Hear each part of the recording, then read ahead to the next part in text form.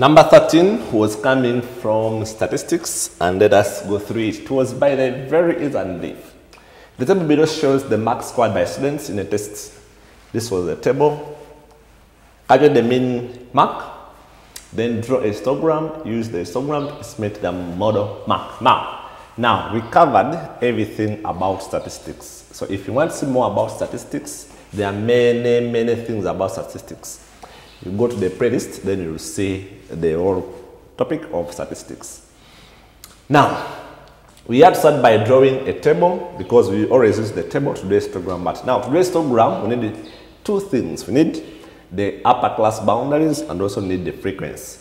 The number of students will automatically qualify to be the frequency, then we get the class boundary. Now, because we don't have decimal points, we subtract 0.5 from here then we add 0.5 to the upper class. So the lower class we subtract, the upper class we add.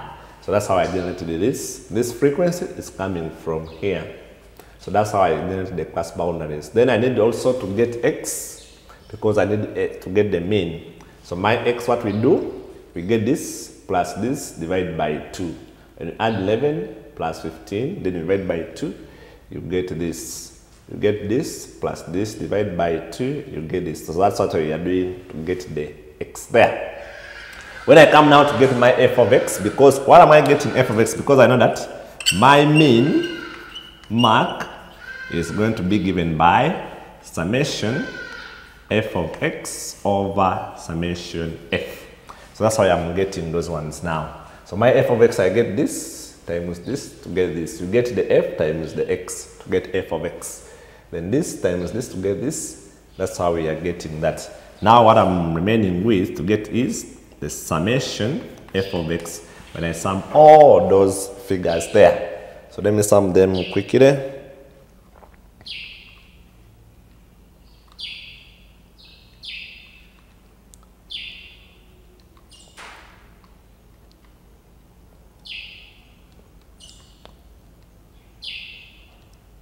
When I sum them, I get 1,320. So now if I'm substitute in there, I have now 130, I mean 1,320. Now divide by the sum of frequency. The frequency here, they're telling us the table, so you sum now. Also here we come and we get our summation F there by summing those students there. So if we sum them, plus 5 plus 6,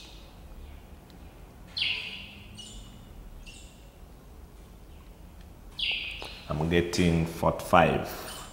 So that's the sum divided by 45. And so my answer is going to be 29.33 decading. So our 3, 3, 3 recurring. I'm giving this for decimal places and these are marks. So this is now our main mark. So our main mark is basically that one. Now, they want us now to draw a histogram. To draw a histogram now, what I do, we always put frequency here, we put our frequency there, then we put here the marks. So here we put max, marks like that. So now after doing that now, we say, we put now the 10.5 comes here, the lower class, we start here by lower class bar, or some people start with the 15, then that's at it's always here, but it's always better start with the lower class here, then you put it there, then here we put our frequency. So the, what when we have max here, they are going to be dense on our horizontal there. Then the first class down from 10.5 to 15.5, they have a frequency of 4. That's why you see here we have a frequency of 4. That class has 4. The next class, which is 15.5 to 20.5, is having a frequency of 5. The next class is having 6. So it's having 10. Next is having 8. Next is having 6, 4, and 2. So that's how we draw our histogram with ease. So now, don't shade it, please. That is not unnecessary, by the way. You just leave it like that.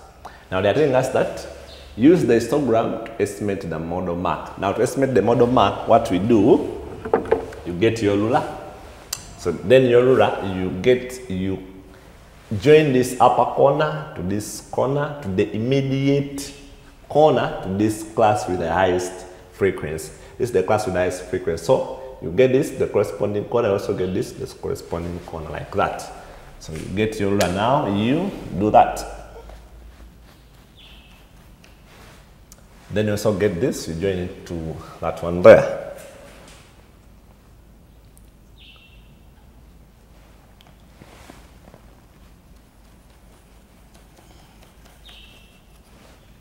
Then that's what we have. So now to get our model mark, you come now, you draw a line until when you touch. That's how we read our model mark. So now where these two meet, you draw a line until when you come here down. So now I get mine.